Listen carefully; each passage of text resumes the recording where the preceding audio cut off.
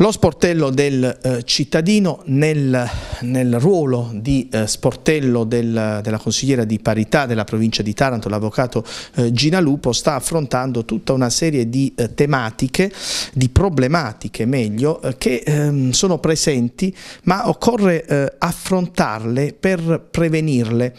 e soprattutto per prevenire no? i tempi, per muoversi prima che eh, il, il, dramma si sia eh, consumato. Oggi affrontiamo una, una problematica che ha una, ehm, un nome, una denominazione, un termine inglese, lo scamming.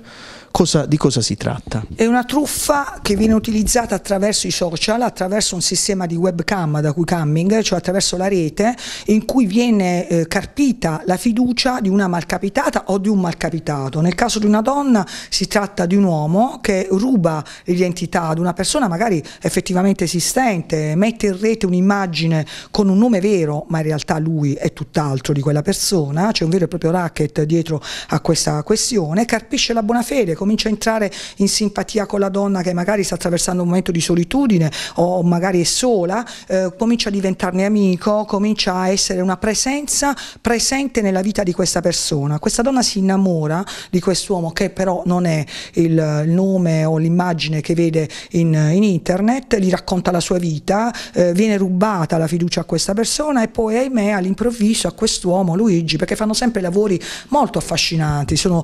diplomatici in pensione, formazione, sono operatori della Nato. La distanza poi ovviamente favorisce questa idealizzazione, no? Sì, sono stranieri, parlano benissimo il francese, è un italiano un po' traballante o l'inglese, quindi questa donna è affascinata dall'aver interessato, di aver fatto innamorare di sé un uomo così affascinante e misterioso, ad un certo punto quando la preda ormai è nella rete a quest'uomo capita un viaggio all'estero e ahimè durante il viaggio all'estero viene rubato, viene rapinato dei suoi averi, li tolgono i documenti, quindi chiede aiuto alla sua amica virtuale, alla sua innamorata meglio virtuale, perché poi ancora non si sono incontrati, perché non si incontreranno, diciamolo, mai, perché i pretesti sono tanti, e gli chiederà di inviargli delle somme di denaro per pagare il conto in albergo, per pagare i biglietti aerei per poter tornare in Italia, e guarda, è tutto ben falsificato,